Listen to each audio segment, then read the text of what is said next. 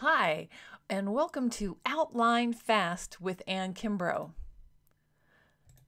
I'm Ann Kimbrough. and um, here's a few things I've got going on. As a creator, I have looked at many avenues and um, work in several still. As a screenwriter, producer, um, I do have several pen names, but the one I'm focusing on right now is Anne Audrey for a cozy mystery series called Fit Girls. I've also recently gotten into podcasting, which uh, they have something called audio dramas, which are very much like uh, old radio shows. Not that any of us remember those, but we know about them and they exist now. Um, some some very popular ones have become TV series like Homecoming on Netflix. So I'm doing a, um, a sort of a YA fantasy called Lyric, A Mother of a Fairy Tale.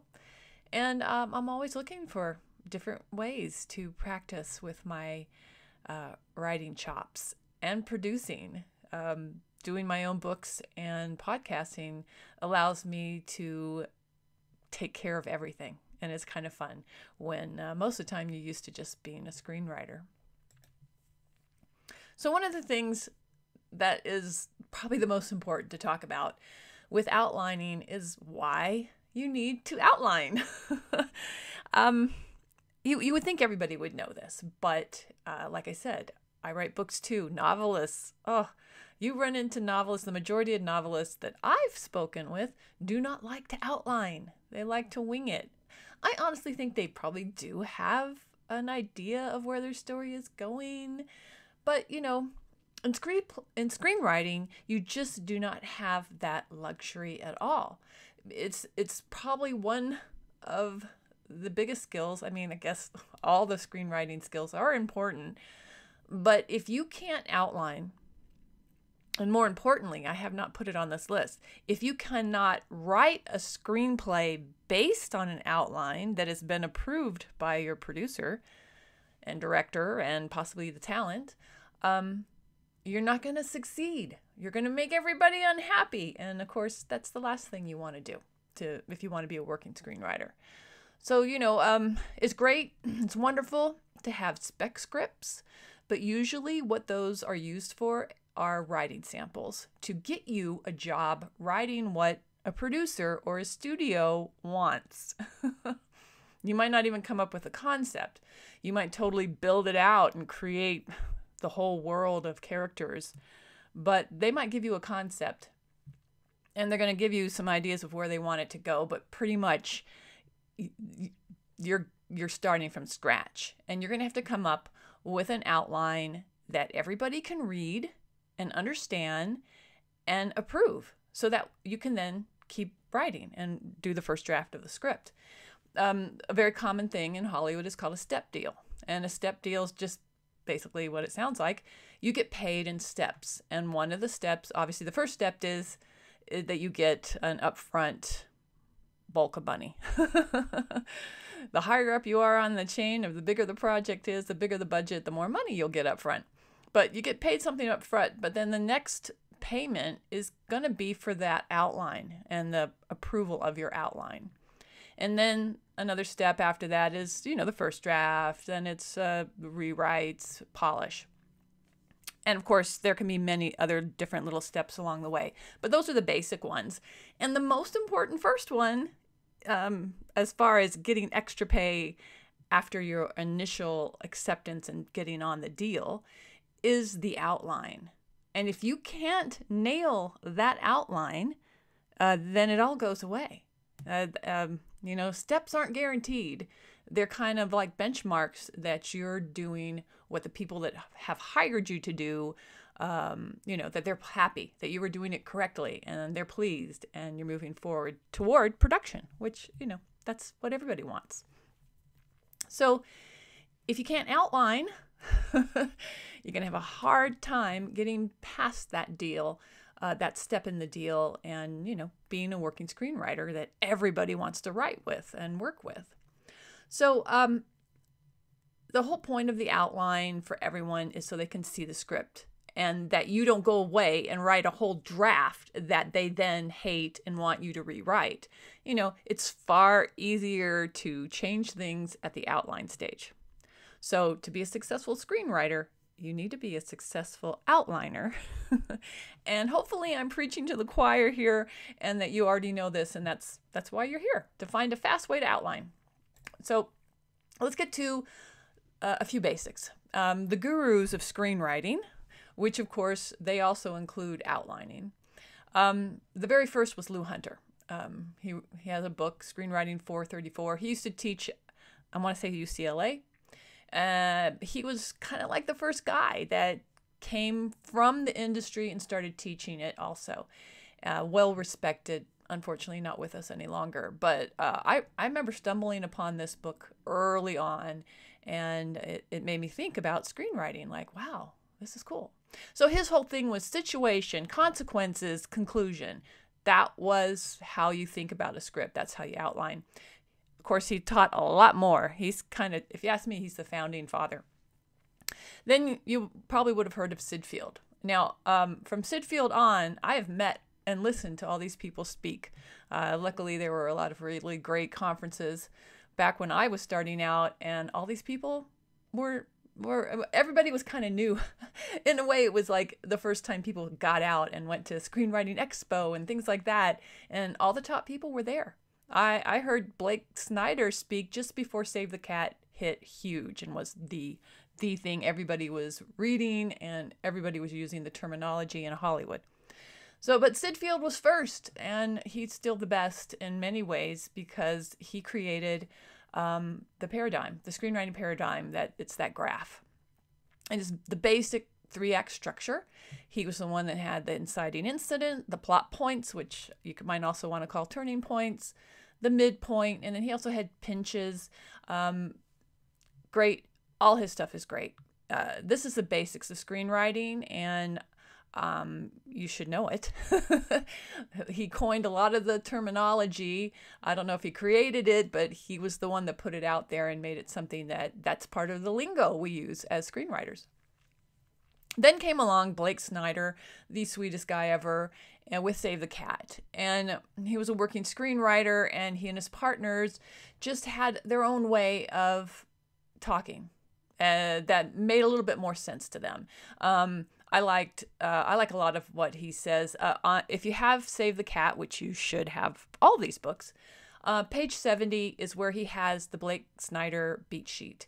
And it's, let's see, I got it right here. It's 15 points that you should figure out, and it's a basic outline. Um, theme stated and all is lost are some of the terms he coined, uh, as many others on the list. Excuse me. And um, I I would say that Blake Snyder's um, beat sheet is really a great way to outline the beginning of a script, um, but it's it's very useful. Great book. Um, Chris Soth d- does the Million Dollar Screenwriting book, um, the mini movie method. You might have heard this is also sequences. Um, there, it's been sequences have been, has been taught at film schools for a long time. But Chris, uh, who's a cool guy and a good friend, uh, he he just made it. Uh, he took sequences and made it easy to use and understandable. And um, his method is a really fast way to outline.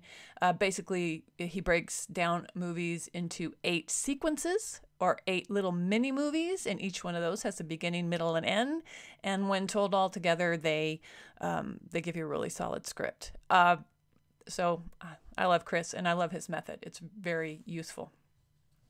And then you have Jeffrey Kitchens, uh, Kitchen, sorry. Um, he, I saw him and it kind of blew my mind because I feel like he had the best way to outline Act Three.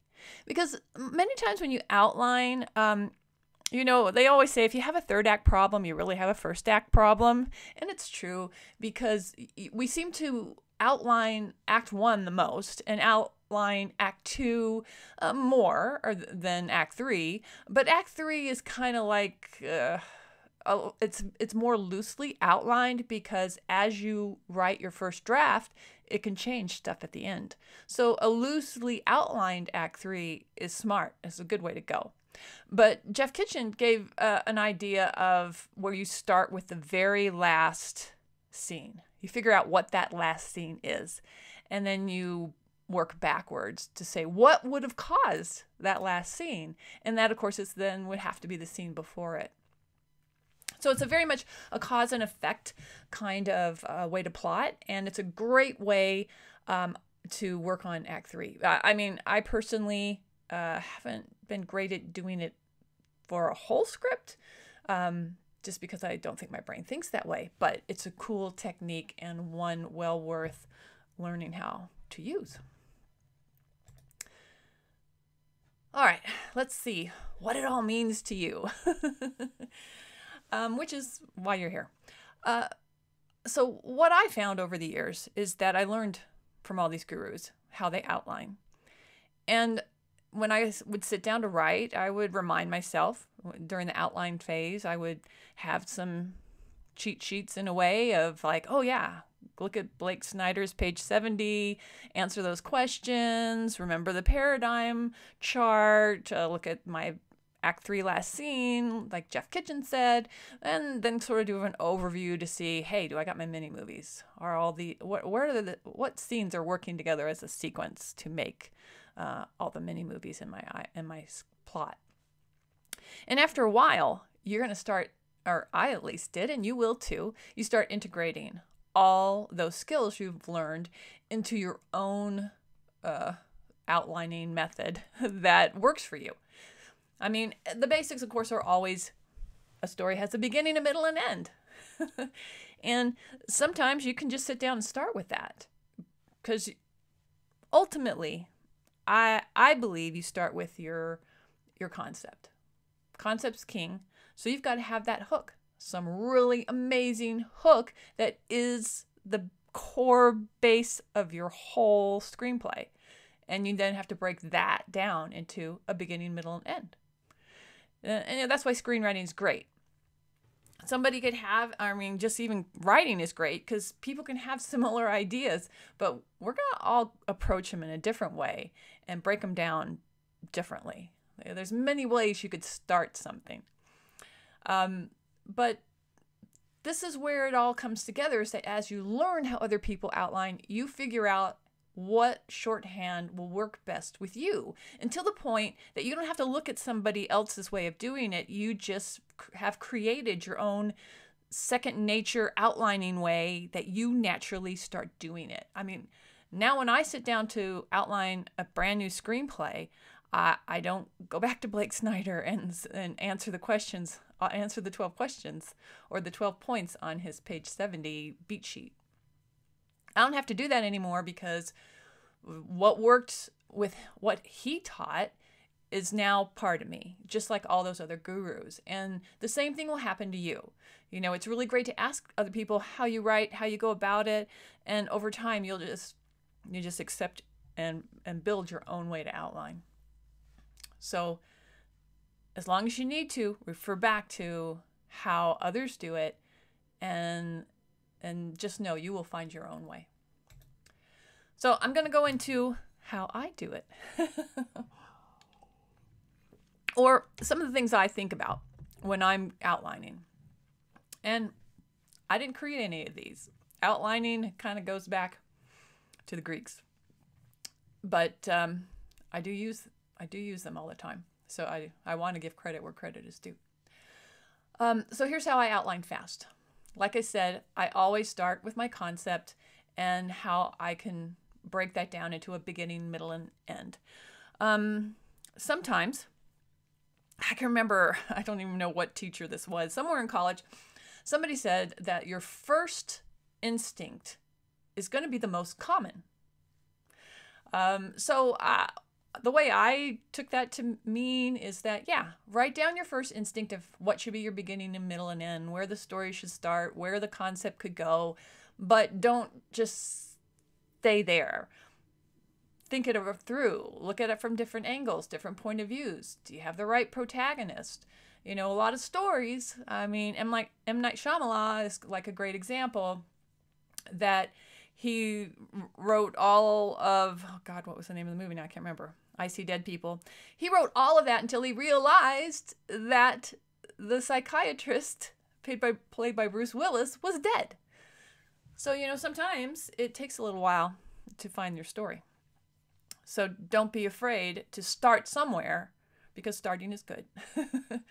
but be open to where that uh, where that could take you. Um, another common way to structure uh, a screenplay is to have bookend scenes. So, like bookends on a shelf that hold together all your scenes, you have scenes that are similar. They mirror each other. So, your opening scene and your ending scene would look alike, but obviously things have changed by the time you get to that end scene. So that's that's a good way to look at a script to start it.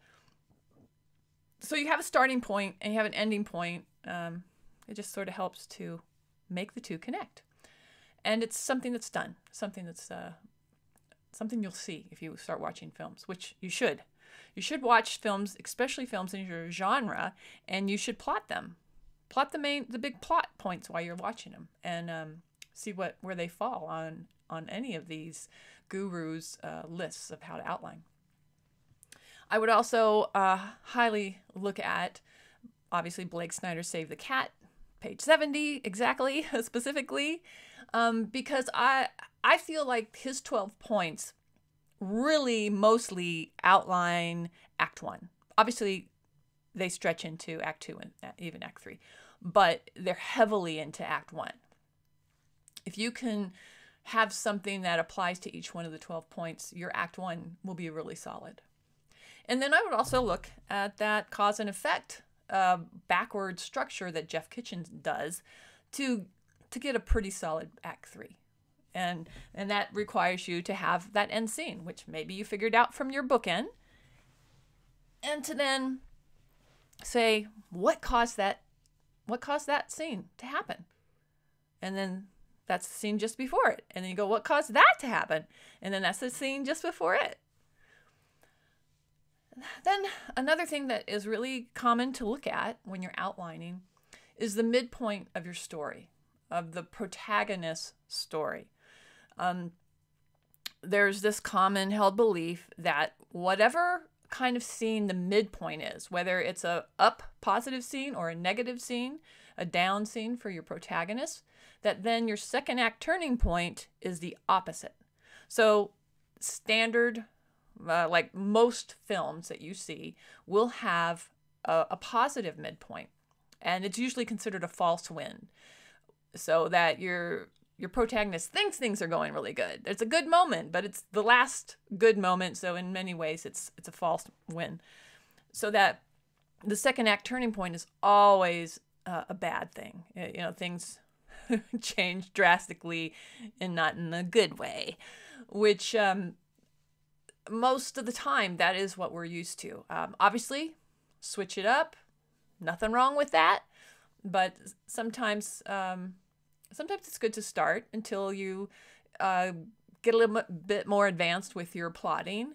It's good to start with the standard way that most films are made because then it'll feel right.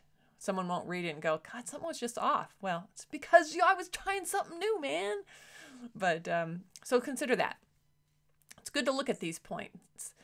And and and that I guess is the point of outlining fast is to hit the big things.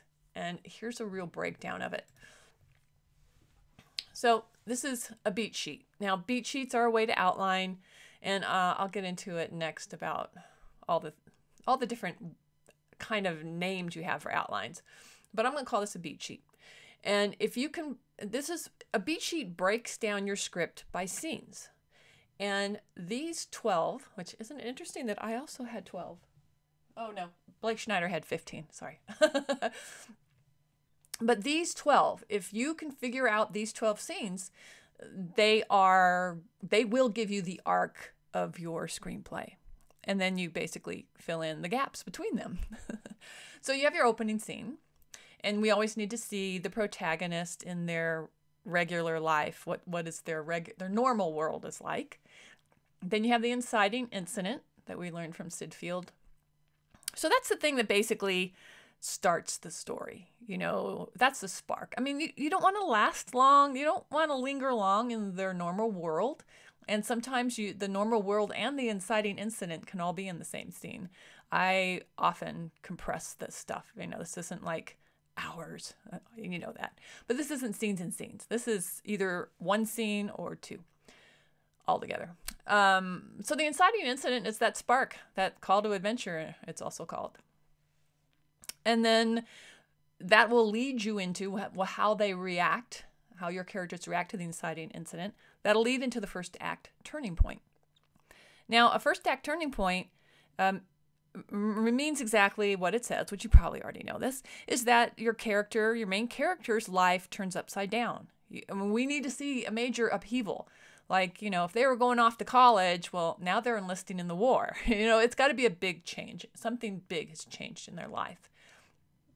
And that's the end of Act One. And you're getting into Act Two. So um, I'm going to talk about a little bit later. But so when, you know, we're, we're working on a three act structure, which, uh, um, spoilers, is really a four act structure, but I'll talk about that later. Um, so when you get to uh, after Act One, when you get into it, the, the, your protagonist is always going to try to solve their problem. That's basically what Act Two is about: is your protagonist solving whatever that that spark is, that adventure, that problem that turns the point in Act One. And they're always going to do the easiest thing first, because that's human nature. That's what we all want to do. What's the easiest way? So, like, if I could solve the problem doing the simplest, easiest thing right now, uh, what would that be? And that's what your characters need to be thinking, especially, of course, your main character. Of course, they fail. so then that is going to lead to another point of what do they do after that? And it gets more complicated, right? Leading up to your midpoint. Um, so your midpoint, like I talked about, should be a false win. Um, sometimes if there's a relationships angle in your story, this can also be where the sex scene is or the kiss it's just been known for that to happen. But that depends on your genre. Then we get into the latter part of Act Two, which Blake Snyder called um, the bad guys win.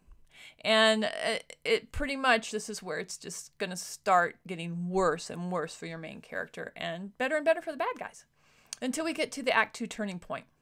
Now, um, I didn't talk about Chris Vogler, the hero's journey he also has a lot of great points in here. I personally just have never um, uh, uh, loved that as much as some of these other guys. So, but he's also classically great outline if you like it. and there's a bunch of points that that are hinged right in this area of the climax and all is lost. That all is lost is Snyder's, but it's also um, sorry, my phone's ringing um, also part of uh, of Vogler's uh, third act and plot points. So, but Blake Snyder, um, I kind of like how he referred to it a lot. Uh, he did have his all all is lost moment. I believe the all is lost moment comes after some major upheaval that takes us from Act Two into Act Three, but before the climax scene. And in um, in the hero's journey, uh, for me, they don't put it in the right place, but that's just a personal preference. So you should read that too and um, see what you think. But you have that all is lost moment where basically your main character wants to give up. It's important for every story because then they dig deep once again, and that will lead you into your climax scene where pretty much everything that you have set up in the story has to come together uh, at one point and for one big battle, whether it's a legitimate physical battle or a mental battle, but you're going to have that big cataclysmic moment in your script. And then your last scene. How do we end this? Where do you want to end it? So, with this list of 12, this gives you all the points that your screenplay must have, and then you go and um, you fill them in.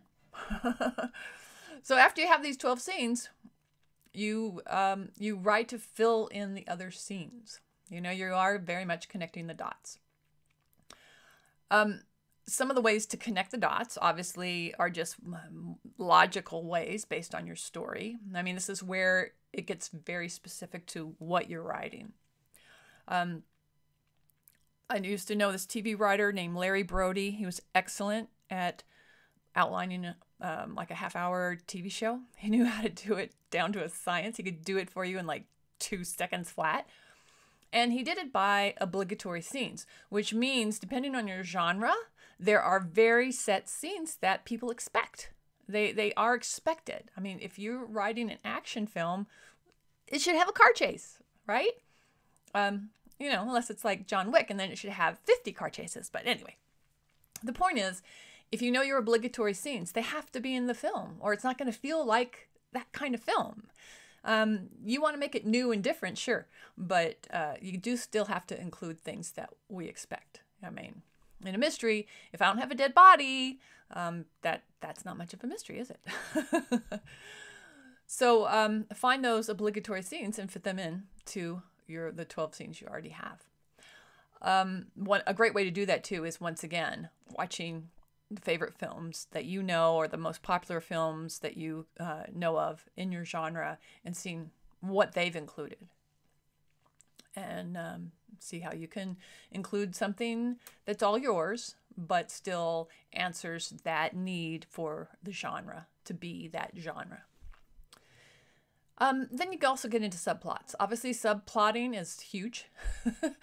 There's always other characters. And um, for me, the biggest flaw that people have in a subplot is they don't realize that the subplots are only there to highlight something in the protagonist, the main character's storyline.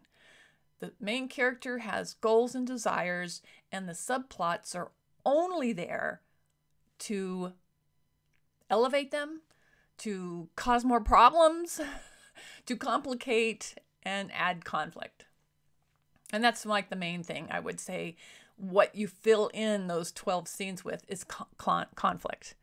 Uh, that is screenwriting, or I should say, that is storytelling to a T. Plots need conflict. you know this, um, but the, that's what you do to fill in. Um,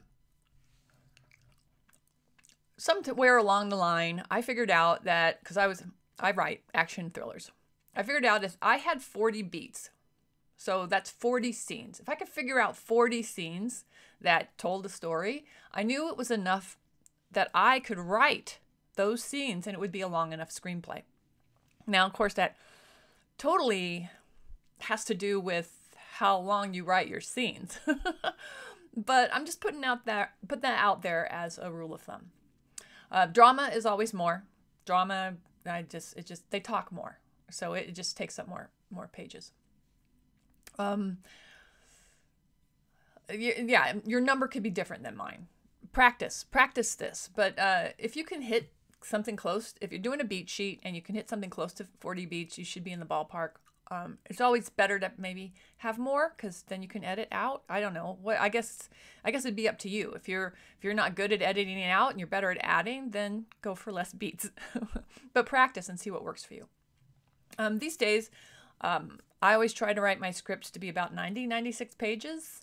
Um, once upon a time, it was 100 to 120. Um, I don't know. I, I, I since I have gotten onto the producer side, shorter scripts that are solid and do everything you need them to do, they're much nicer when they're closer to 90 pages because they cost less, but they still do everything. So think about that. Once again, certain kind of scripts like dramas, maybe even fantasies are longer. Um, I didn't want to leave out TV scripts. Um, most hour dramas or a limited run series. You know, they're going to be an hour drama. They have a teaser in five acts, uh, but uh, I believe Hallmark has like I want to say eight acts. Anyway, once again, whatever you're whatever you're trying to fit, like what is your genre? Where where are you trying to place it? If you want to put something on HBO, go watch several of their TV series and time them. Write down where you can see the act break breaks. It's harder on something that doesn't have commercials, but they're still there and you can you can see them. Uh Whoops. I'm just jumping around without knowing it. Knowing it. What was that last one? Oh, yeah. The good rule of thumb is that um, outlines are based on acts, since everybody understands acts, even because we all have been trained that way. Not just writers, just like everybody that watches anything, we understand acts. So let's do talk briefly about act structure. Um, feature length scripts, and frankly, um, well, let's just say feature length scripts because TV is different, are a three act structure. But it really is four acts because uh, because Act Two is longer. Act Two is twice the size of Act One, so uh, it's it's hard to look at something that big, and it's better to break it down. And and mostly because Act Two does a lot. So you want to break Act Two down in. But I, I still, but I still, when I talk about acts, I always talk about three act structure. I just know, and most people will feel the same way out there, that there's an Act Two A and there's an Act Two B. Just something to know. Um, for Act One, I usually try to be lean and mean at 20 pages or so. None of these are hard and fast. Like you know, if your story needs more, it needs more. But uh, 20 to 30 pages um, Act 2, uh, 2A should be around 30 pages. Act 2B is around 30 pages. What divides Act 2 between A and B is your midpoint. And Act 2A is usually, uh, well, is mostly about your protagonist trying to solve their problem, you know, and they still have a lot of, you know, energy and uh, hope and uh, they're hitting some obstacles, but they're keep they keep trying and they really think they can succeed. But act, uh, but the midpoint is that turning point where Act 2B is about how it just keeps getting worse, and their hope that it's going to work out is going to be going down the drain. And that's once again where um, all is lost, the bad guys win. That's what you're on that path. You're on that flight plan until you then hit the second act turning point, which once again needs to totally disrupt your uh, main character to the point where they really they really do lose hope and then act three of course is your shortest because you know um, the greeks did this. They you know once they watch some old films too. They're uh, in some ways they can be really hilarious how quickly they wrap stuff up. And you're just like oh, what, what? Could i handle just an inch more? A little more story please? They just like hey we hit the climax. It's done. Bye bye well um find a way to pace yourself. You you do want to wrap it up. Uh, people don't like a, I don't know why, but uh, we don't linger too long once we've uh, blown the wad and shown our hand. So 15 20 pages is uh, kind of standard. Oh, I did want to get back to other outlines because everybody has a different thing in mind when it comes to outlines and uh, what to expect. So if someone says outline, if they say beat sheet, if they say treatment, even a one page, they can mean they can mean the same thing. It's all interchangeable. Nobody, uh, there's no one universal thing you can say and everyone gets it. so you always should ask. Always, always. Unless this is just you writing your spec script at home. Um, you know, no one no one's input but just your amazing brain, uh, then fine. But anybody else you're working with, ask them what they expect when they ask for an outline, and just get get yourself uh, get you know let, get everyone on the same page, so to speak, about what you need to deliver. And I will say that you know you know that no one reads in Hollywood. They all say they do, actually, I met a manager recently that said she didn't. And I was like, wow, that's refreshing because everyone says they read, but they don't. they show they prove it all the time. There's a lot of clues that people say they read and they don't. Usually if they talk about your script, they'll only talk about stuff that happens in act 1. That's that's a sign that they haven't read your whole script. Um, things like that. But the point is that that means for an outline that shorter is usually better because people will read something short. Uh, they just don't want some like treatment. Uh, I think treatment is like a bad word to use because um, they don't mean it. They don't mean what is was typically a treatment, which means pages and pages of stuff. No one, no one is going to wants to read pages and pages. They'd rather read something short, and if they have to read something, I think they'd rather read the script. And that's the end. I really hope this is putting you on put you on the path to understanding outlines a little bit more. Um, if you do want a little bit more help, I have over the years created stuff. Uh, I have a website called Screenwriters Daily Dose. Um, there's not a lot of stuff about outlining there, just screenwriting in general, a lot of pitching stuff, um, and blog links to good advice for screenwriters. If I find, I'll post it. But it does on that website, I do have a list for all my screenwriters' beat shows, which is something I did a few years back uh, on YouTube. These were originally Google Hangouts. Do you remember those? They were very sketchy, kind of like uh, uh, the quality was sketchy, uh, of like Skype calls. Um, but it was free, and I think the content was really good. I got together um, several of my screenwriting friends, and we were all pretty pretty new and we just i i mean the, there's a lot of good information out there uh, now more than ever but it still tends to be mostly about a-listers and you know we're not all a-listers yet so uh, i wanted some information out there that was about how you how you break in and how you keep breaking in because those first few years it just seems like you with every little option or success, you, you just you're still breaking in. and um, this was a bunch of screenwriters just talking about our experience. So I, I think it still holds true. And two episodes were about outlines, episode 30 and episode 45.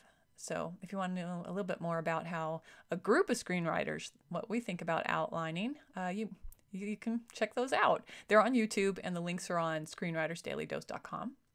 Uh, one of the other things I've gotten into is audio dramas, which I definitely think if you haven't, if you don't know about them, you should find out about them because they're they're like little scripts, and they're like little radio shows. But uh, now you can find them on iTunes. Um, I have podranger.com uh, with some links. And then I've also started doing uh, a show on Twitch called Writers Write, and it's weekly writing sprints. I do them every Monday and Friday if you want to join us.